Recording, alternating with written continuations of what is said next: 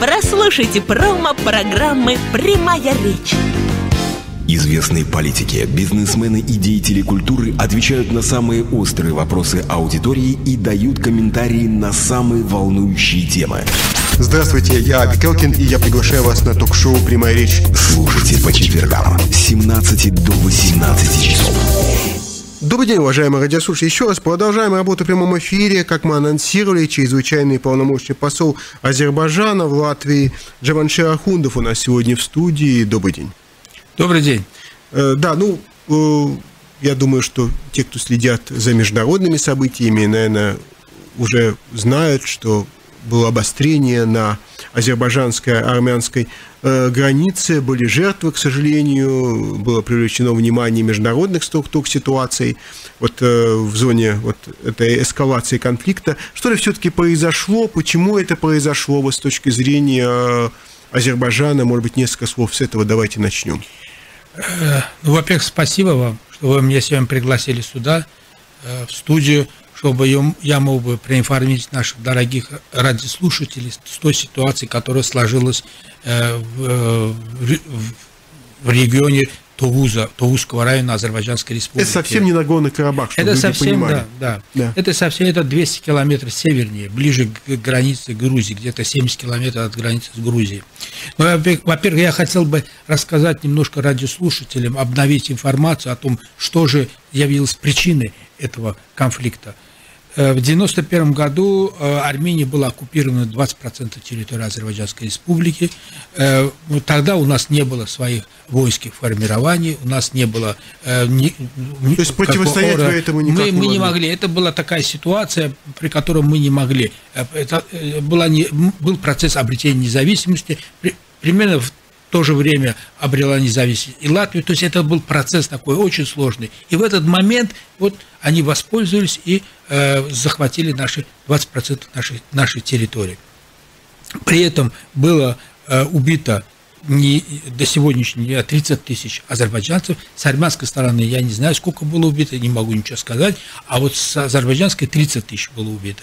И было более миллиона беженцев и перемещенных лиц. Более миллиона? Да, более миллиона. Вы представляете, вот этот э, процесс обретения независимости, тяжелое финансовое положение, тяжелая экономическая ситуация. И в, это, в этой ситуации у нас еще такое количество э, беженцев. Ну, мы всех так сказать, приняли, всех обогрели, все, сейчас строится огромное количество для них э, дома, городки, поселки и так далее. То есть по-прежнему они вот ну, они, нет, не вернулись они, в родные места. Они еще не вернулись в родные места. Вот об этом. Это главное требование азербайджанской стороны. Деоккупация этих территорий. Притом это не, то, это не только мы требуем, это требует резолюция Совета Безопасности ООН, Генеральной Ассамблеи ООН, Европейского парламента, Совета Европы, ОБСЕ, НАТО, Организации э, неприсоединения. То есть все международные, ведущие международные организации требуют этого, чтобы произошла деоккупация азербайджанской территории.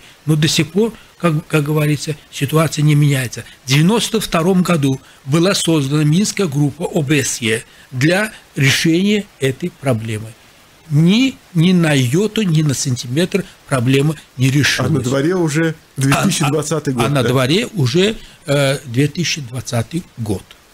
Э, я бы хотел бы о чем сказать. Э, я бы хотел бы дать небольшую информацию о хронологии событий. А Значит, а потом мы перейдем. Э, 12 июля э, произошел обстрел нашей территории со стороны Армении э, из, из стрелкового и артиллерийского э, оружия.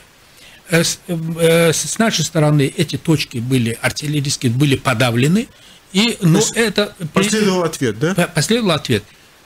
Но перестрелка э, шла несколько дней. При этом погибло 11 наших военнослужащих и один мирный житель.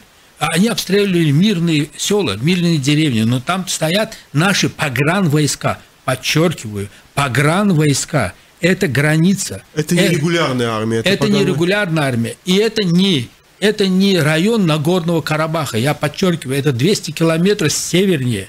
Это ближе к грузинской границе.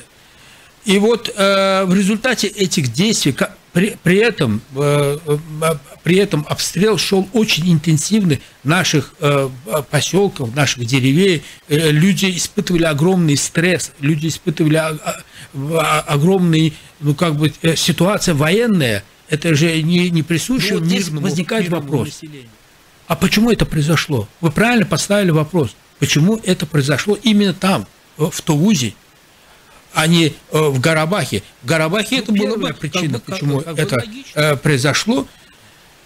Э, то, что э, Армения хочет расширить географию столкновения. Зачем же? А я вам скажу, они хотят привлечь уже третью сторону в этот, в этот процесс, в это, в это столкновение. Они, ну, они не добились. Они хотели, что ОДКБ, э, потому что это граница, это не, не Карабах, это не признанная территория Азербайджанской республики. Это, э, это, это Тувуз, это граница между Азербайджаном и Арменией. В, в результате этих столкновений, по их мнению, по их логике, значит, э, ОДКБ должно включиться. Но ОДКБ отклонило это и даже не провело своего заседания по То этому они не стали вовлекаться. Они не стали э, вовлекаться в этот, в этот Ну, чтобы радиослушателям было понятно, это организация договор коллективной безопасности. Туда входят значит, страны э, бывшего э, э, это, ну, СНГ. Да, СНГ да, да. входит. Э, и что дальше? Вторая причина. Там 78 километров до границы с Грузией между Азербайджаном и Грузией вот в этом районе проходят основные транспортные коммуникации, э, идущие из Азербайджана в Грузию, в Турцию и Европу. Это, га- это, транспорт, такой, да? это газовая инфраструктура, это э, нефтяная инфраструктура, это железная дорога, это э, значит, э, автомобильный, автомобильная дорога. Вы представляете, для значимость для Азербайджана вот этого, вот этого небольшого, достаточно э, узкого коридора, там проходит, могу перечислить, там проходит нефтепровод Баку-Тбилиси-Джейхан, там проходит газопровод TAP-TANAP, там проходит на, газопровод на Эрзурум, там, который обеспечивает Европу альтернативными источниками энергии. Это вот мы TAP-TANAP, мы недавно, он должен еще вот на полную мощность, он будет запущен через несколько месяцев, буквально два месяца осталось для его запуска. И вот в этот момент начинается вот этот конфликт. Вы понимаете? То есть вот это перерезать вот эту э, вот эту э, транспортную вот эту э, вот эту коммуникацию основную, которая идет из, с Азербайджаном. Вот э, все-таки чуть-чуть возвращаясь до да. этого конфликта, э, ведь казалось э, после всех процессов, в том числе в Армении, когда Пашинян пришел к власти, что, может быть, это даст толчок для, каким э, для каких-то серьезных переговоров уже на, таких, на долгосрочной основе. Ну, я так понимаю, что этого не произошло. Да? Были такие попытки? Вот э, мы тоже надеялись на это. Мы тоже надеялись, что при, с приходом к власти э, значит, э, Пашиняна будет более конструктивное, э, он себя декларирует как демократ, он себя декларирует как более так, прагматик, сказать, да? прагматик и так далее. Но это не произошло. Произошло еще более ужесточение риторики, э, популистской риторики. Я вам могу вот привести сейчас два высказывания. Одно высказывание, это касающееся первого э, тезиса, что я говорил по поводу расширения географии – значит, заявление министра обороны Армении Давида Тунояна о новой войне, в кавычках это идет, о новой войне за новые территории. Это буквально его слова. Далее Пашинян выступает и говорит, Нагорный Карабах – это Армения, точка. Наш президент выступает на Валдайском форуме, говорит, Нагорный Карабах, в ответ, конечно, Нагорный Карабах – это Азербайджан, восклицательный знак. Вот наши надежды были с тем, что процесс пойдет более конструктивно, более, более, э, более как бы э, с, э, с большим пониманием ситуации. Но видим, нет, мы, значит, здесь были какие-то, значит, наши необоснованные какие-то да, ожидания в связи с Пашиняном. Значит ли это, что обе стороны ну, не готовы сейчас идти на какие-то уступки? Я, во-первых, скажу, давайте о том, об, о еще одном факте, почему это произошло. Значит, э, ну сейчас все, все знают, что это страшная пандемия, COVID-19 существует в мире. Э, мы стали инициаторами, как э, председатель в движении присоединения, о созыве специальной сессии онлайн-конференции Генеральной Ассамблеи ООН по поводу этой э, напасти, по поводу этой болезни. И как вы думаете, 130 стран проголосовали за проведение этой конференции, и только одна страна проголосовала против. Как вы думаете, какая это страна? Армения. Как можно в этой ситуации, когда страны и народы испытывают такие проблемы по поводу ковида, как можно против этого выступать? Я думаю, что это тоже было э, одной из причин. Вот, э, может быть, такой вопрос, который не могу не задать. Вот да. роль международных э, структур, вы сказали, к сожалению, да. что это вот Минская группа ОБСЕ, которая еще была создана в 92 да, году, да, многие уже забыли, к сожалению, о ее существовании, ну, не дала ожидаемого да. результата. Э, вот что сейчас, какова роль, не знаю, ОБСЕ, Совета Европы, вот ООН, по-моему, был, я так понимаю, был телефонный разговор с вашим министром иностранных дел, генсек ООН господина Гутерреша, да? Нет, э, был э, разговор с нашим президентом, Президент. с Антонием Гутеррешем, а был разговор министра иностранных дел нашего, с Джейхуном Байрамом, да. с, э, с, госпо, с господином Бурелли. Да, это Еврокомиссия. Да, это Еврокомиссия. Может быть, несколько слов об этих переговорах, какова не, я позиция сейчас, ООН, да. Да, извините, но я сейчас не могу вам дать э, это, по поводу под последних этих разговоров, да. у меня просто нету этой информации. Но я вам могу сказать о нашей позиции. Да. О нашей позиции. Наша позиция такова. Мы за переговоры, только предметные переговоры, за результативные переговоры, за те переговоры, которые могут принести какой-то результат, за те переговоры, которые конструктивные, за те переговоры, которые переговоры не ради переговоров, а ради результата, ради того, чтобы люди не испытывали. Э, вот я здесь хочу еще одну тему коснуться. Когда хоронили значит, наших шеидов, наших мучеников, э, на улице Баку, несмотря на карантин, вышло десятки тысяч людей.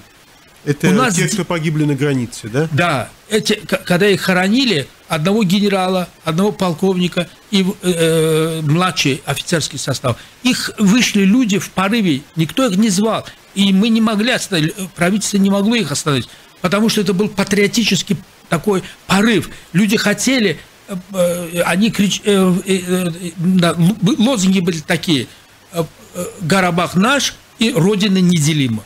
И в военкоматы обратились огромное количество людей, которые э, написали заявление о том, что они хотят пойти служить в армии. Несколько десятка тысяч сами. человек сами. Вы можете... У меня да. здесь в Риге 15 человек пришло, записалось. Вы Маленькой Риге.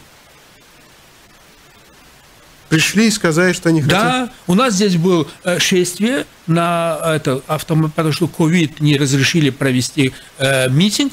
Э, было автомобильное шествие, потом пришли к посольству, ко мне обратились, и я сказал, да, пожалуйста, вот консульская э, служба наша примет ваше заявление. Вы, и это э, без всякого призыва. Это без всякого призыва. Мы не можем игнорировать мнение азербайджанского народа. Мы устали уже. Сколько можно говорить, переговоры вести просто ради переговоров? Нельзя. Надо, если мы ведем переговоры, надо конкретно сформулировать свои, свои позиции. И э, группа, Минская группа тоже должна, и международная общественность должна быть более активна. Она должна Э, применять определенные э, инструментарии э, против Армении, чтобы они как бы поняли, что так, так они продолжаться не может. Они хотят оставить этот статус-кво. Это невозможно. Имеется в виду Нагорный Карабах. Да. да? А возможно ли в этой ситуации какие-то уступки, потому что вы сами сказали, что вот заявление, я так понимаю, премьер-министра Армении Пашиняна о том, что Нагорный Карабах наш. Естественно, в ответ на это президент Азербайджана господин Алиев сказал «нет, наш». Да? И не получается, но так, чтобы людям со стороны было понятно, не получается, что здесь определенный тупик, потому что ни одна из сторон э, не может ну отступить. Вы же как дипломат тоже знаете, что если идут переговоры и ни, один, э, ни одна из сторон не делает шаг назад, то получается, ну, нет переговоров. Здесь есть один основополагающий признак. Это территория Азербайджанской республики. Там уже в рамках... Международно это признано. Э, да? Международно признано. Да? Э, В рамках эти, вот в рамках этих позиций, в рамках этих позиций, я сейчас не могу уже говорить там о конкретных каких-то нюансах, как это Да, можно, да, да. да, но это осново- основополагающий принцип. И э, мы, мы должны видеть их понимание э, этого, как бы, этого принципа, понимание какого-то ситуации. Но мы этого, этого не видим. Да, еще я хотел о чем говорить, э, хотел бы о чем сказать. Это о том, э, вообще это подрыв международного права. Они объявили, что они могут ударить по нашей плотине. Это Мегачавирская гидроэлектростанция. Вы представляете себе 6 миллиардов кубометров воды. Если эта плотина прорвет, это затопит э, до э, всю нашу Курараксинскую низменность, всю долину. Это страшная, это это страшная катастрофа. И вот они постоянно об этом декларируют нас, значит, э, что мы можем ударить по Мингачавирской, э, по Мингачавирской ГЭС. Я э, хотел бы, э, вы, вы задали вопрос по поводу мирового, э, мирового сообщества. Да. Я бы хотел бы здесь особо отметить позицию Латвии. Э, Министерство иностранных дел Латвии, оно э, сделало заявление по этому, э, где апеллирует к международному праву, к принципам территориальной неприкосновенности, суверенитета государств и суверенитета, которые должны незыблемо соблюдаться.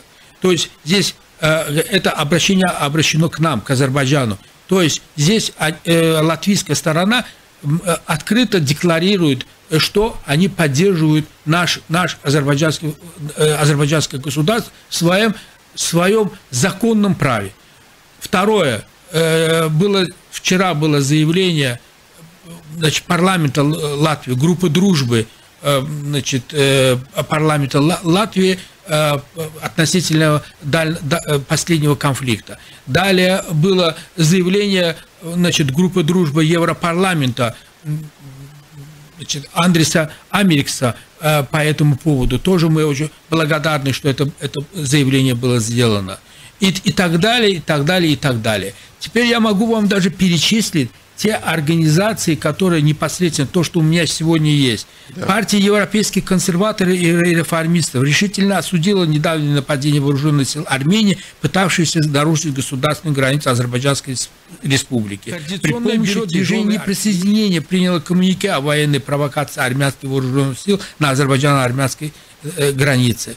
Генеральный секретарь э, Организации экономического сотрудничества призвал к старейшему урегулированию конфликта и выразил свою поддержку суверенитету и территориальной целостности Азербайджана. МИД Украины, Грузии, э, значит, э, Далее звонили, звонил и министр иностранных дел Ирана, звонил министр иностранных дел России, звонил министр иностранных дел Турции, таки, э, значит, влиятельные члены итальянского парламента, Пао- Паоло Гримальди, э, Стефано Лучиди и, и другие. Э, э, Я хочу сказать, что я все даже перечислить не могу, насколько большое количество это э, международного э, признания законного права а- Азербайджана на э, Нагорный Карабах. Я хочу сказать, что здесь, понимаете, э, даже сейчас мы будем очень мо- можем долго и говорить об этих э, вопросах различных международных организаций, но Армения их не соблюдает. Они, а- а четыре резолюции Организации Объединенных Наций. Это главный документ о деоккупации, резолюции Совета Европы, резолюции Европейского парламента, э, резолюции других международных, движений неприсоединения. Это 120 государств. Вы представляете себе? 120 государств говорит, что э, территориальная целостность Азербайджана должна быть восстановлена. И как бы э, ситуация не меняется, приводит к такой вот э, трагедии, которая произошла 12 июля, при котором погибли. При этом я хотел бы отметить, что мы не скрываем свои потери. Армения скрывает. Но я думаю, что через месяц появится какой-то э, список, как было в апреле Вроде 2016 бы Армения года. сказала, что четыре погибших. Я думаю, что это, это неправда. Я думаю, я сейчас ничего не могу сказать, у меня данных точных нету, но я думаю, что через месяц мы увидим другую цифру. Это то же самое было в апреле 2016 года. Потом появился список в 69 человек. Э, чрезвычайный полномочный посол Азербайджана в Латвии. Буквально на пару минут мы прервемся. Не переключайтесь. Радио Болткома. Чрезвычайный полномочный посол Азербайджана в Латвии, мы как раз говорим об этом, ну, таком печальном э, событии, вот эскалации и конфликта. Вот э, все-таки, может быть, продолжая или завершая вот эту тему, такую вот, ну, неприятную, хотелось бы, чтобы ситуация нормализовалась, все-таки э, что, как руководство Азербайджана, какое, какое она видит пути вот для того, чтобы больше этих эксцессов не было, потому что, ну, понятно, что это трагедия, погибли люди, погибли военнослужащие, у них остались семьи, да, вот, ну. Ну, во-первых, э, я бы хотел бы выразить и э, свое соболезнование тем э, семьям, которые потеряли своих э, близких. Но э, вы говорите о нашей позиции. Наша позиция четкая и ясная. Наша позиция, мы должны восстановить свою территориальную целостность мы должны восстановить, должна произойти деоккупация. То есть другого да. пути фактически. А другого пути там, там я сейчас не могу говорить, там это сложнейший такой э, это процесс. Там есть мадридские принципы, есть э, э, э, в рамках которых работают переговорные группы, есть спецпредставители по этим, э, по этому Нагорно-Карабахскому конфликту. Но есть основополагающие принцип. Половинчатого решения мы не принимаем. Вот наш президент вчера сказал, половинчатого решения мы не можем принять. Должно быть восстановление территориальной целостности Азербайджанской республики. Это общая позиция это, азербайджанского населения. Это да? общая позиция. Это не только азербайджанского населения. Я же вам говорил, да. что международные организации также э, везде во всех документариях, во всех э, документах э, об этом говорится что территориальная целостность э, э, Азербайджана должна быть восстановлена. Последние резолюции э, посмотрите в Европарламенте. Возвращаясь все-таки вот к этой печальной теме, но об этом нельзя сегодня да. не сказать, вот по поводу этого конфликта на границе. Какие сейчас усилия предпринимает Азербайджан, не знаю, по обеспечению этого участка границы, не знаю, какие-то дополнительные погранвойска? Или сейчас ситуация, вот сейчас такое вот затишье? Нет, там сейчас сказать, что совершенно затишье я не могу, да, но э, э, уже таких интенсивных вот такого это сам. Я хотел бы, знаете, о чем рассказать вам? Да. Я бы хотел бы рассказать вам о той э, поддержке, которую оказали э, Азербайджану вот в этой ситуации диаспорной организации. Во всем да? мире, соотечественники, по всему миру да, и какое, э, какие провокации проводили по отношению к ним значит, армянские организации. По всему миру, и в Берлине, и в Вашингтоне, и в Лос-Анджелесе, и в Париже. Как вы говорили Лондоне, о диаспоральных организациях, но это фактически э, те соотечественники, которые проживают да, в других странах, да. но они переживают за эту ситуацию. Да, да, да, они поддерживают Азербайджан, они поддерживают, они, они с народом, они рядом со своей родиной. Это очень-очень важно. А вот так, чтобы нашим радиослушателям было понятно, вот в этом месте Тулузы, где вы сказали, вот эта граница, там никаких споров нет. То есть эта граница юридически оформлена. Или там тоже такое вот ситуация? Значит, э, после развала СССР э, демилитация границы да. должна существовать, то есть э, юридически оформляется там по каждому сантиметру, границы, да, да. каждому сантиметру проходится это конечно, в силу этого, этого конфликта у нас демилитации границы с Арменией не было. Ну, существует... И договор по не, не Да, этого, это, этого еще нет. Но, э, так сказать, э, э, здесь уже это, э, это технологический процесс, потому что старая граница существовала между Азербайджанской республикой и Армянской республикой.